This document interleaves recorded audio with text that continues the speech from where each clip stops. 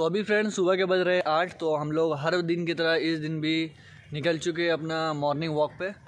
तो morning walk करते करते मैंने सोचा कि एक ब्लॉग बना लेता हूँ, मैं और मेरा दोस्त सैनवाज, जो कि मुझे लगता है कुछ दिन रुकेगा मेरा भाई, और उसके बाद निकल जाएगा दिल्ली। तो उसके बाद हो गई है कि थोड़ा सा मुझे अकेलापन लगेगा, लेकिन क्या करूँ अब?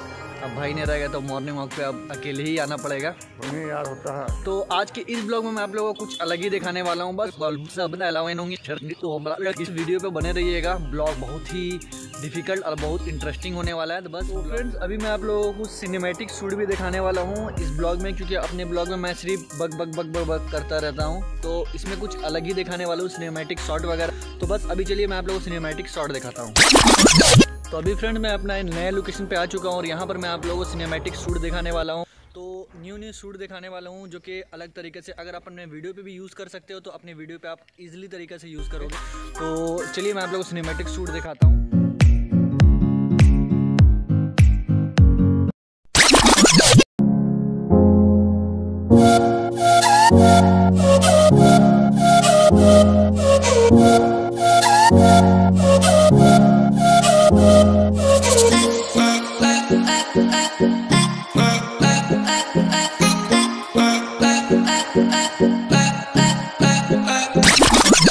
फ्रेंड्स, मैं अपना न्यू लोकेशन पे आ चुका हूँ तो अब मैं आप लोगों को सिनेमेटिक शूट दिखाने वाला हूँ, जो कि यहाँ पे आप लोगों को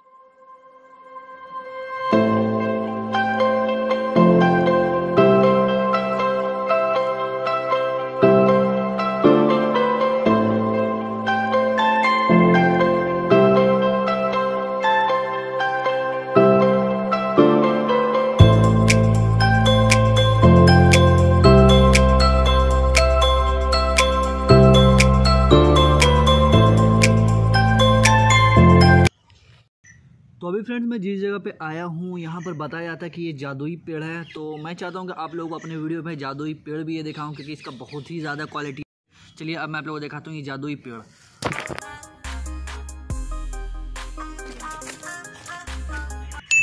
तो अभी फ्रेंड्स मैं आप लोगों को दिखाने वाला हूँ ये जादुई पेड़ के बारे में, इसमें क्या क्वालिटी है, चलिए मैं आप लोगों को दिखाता हूँ। तो यहाँ पर आप देख सकते हैं ये जादुई पेड़ तो काफ़ी विशाल आप लोगों को देखने को मिलेगा ये जादुई पेड़, काफ़ी विशाल मतलब बहुत ही भयानक लग रहा है बहुत पूरा फैला हुआ। अब मैं आप लोगों को बता दूँ इसका क्वालिटी क्या है? इसको जादुई पेड़ क्यों कहा जाता है? इसको जादुई पेड़ कहने का मतलब ये है कि जब भी आप लोगों को कभी फीवर वगैरह होता है बुखार वगैरह या हल्का सा सर्दी खांसी होता है तो इस पानी में मतलब कि थोड़ा सा लकड़ी डाल के उबाल कर उस पानी को पीते तो आपका फीवर वगैरह ठीक होता है। ऐसा बताया था यहाँ के लोगों में लेकिन मैंने इस, इस चीज़ को ट्राई किया। तो कुछ नहीं हुआ। तो मुझे ये चीज़ समझ में आ गया कि भाई ये जादुई पेड़ वगैरह कुछ नहीं है। ये नॉर्मल से पेड़ है, बस आदमी का मानना है। जो जैसा मानता है, उसके साथ वही होता है। तो मैंने सोचा यही कि अपने वीडियो में आप लोगों को बताऊँ कि इस पेड़ के बारे में। तो उम्मीद करता हूँ ये ब्लॉग आप लोगों को काफ़ी पसंद आया होगा। तो चलिए आप लोग कुछ और चीज़ मैं आप लोगों को दिखाता हूँ अपने ब्लॉग में। तो फ्रेंड्स आज की इस ब्लॉग में मुझे यही आप लोगों को समझाने था, यही बताना था कि भैया, कि इस पेड़ के बारे में जैसा मैंने सुना था, वैसा तो कुछ नहीं है। शहनवाज भाई को भी पता चल चुका है ये बात। तो अब मैं आप लोगों को यही बताने वाला हूँ कि किसी की भी कहने पे कभी भी कोई चीज़ होता है तो उसको मत मानिए। पहले आप खुद से इस्तेमाल कीजिए उसके बाद आप लोगों को परफेक्ट पता चलेगा कि आप पहले इस्तेमाल कीजिए उसके बाद विश्वास कीजिए। यही नॉर्मल सा चीज़ है।